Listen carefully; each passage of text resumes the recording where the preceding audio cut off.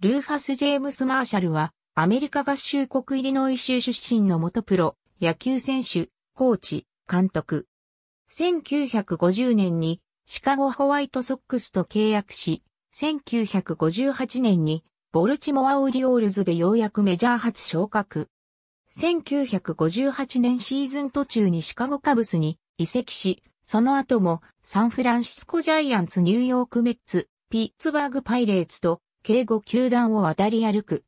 1963年、日本プロ野球初の現役メジャーリーガーとして、中日ドラゴンズに移籍。オープン戦では、大スランプでファンを焼きもきさせたが、公式戦に入ると、メジャーの貫禄を見せて、打ちまくった。江藤真一、ボブ・ニーマンとクリーンナップを組んだ。特に巨人戦には滅法強く、バントヒットも得意にしていた。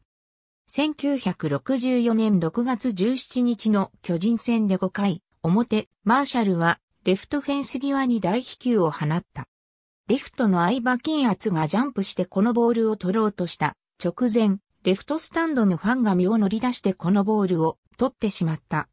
球場の監修は最初は、ホームランかと色めき立ったが、レフト先進は、ファンがボールを取らなければ補給できたと判断して、アウトを宣告。中日側は、この判定を不服として審判団に猛抗議し、一時監督の西沢道夫が、没収試合も辞さないとベンチ内の選手を引き上げさせたが、球団フロントや球場にいた鈴木隆二セリーグ会長の説得もあって、提訴試合とすることを条件に試合は再開された。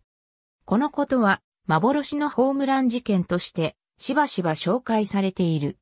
オールスターゲームに3年連続出場を果たし、1964年に中日球場で開催された第2戦では MVP を獲得。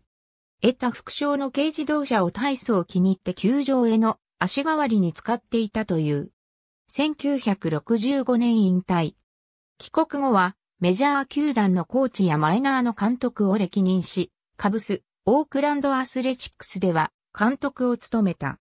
アスレチックス時代は、首位打者に盗塁王を獲得したリッキー・ヘンダーソンをマイナーから抜擢した。1981年からは親友だった監督の近藤貞夫に招聘され、古巣、中日の一軍総合コーチに就任。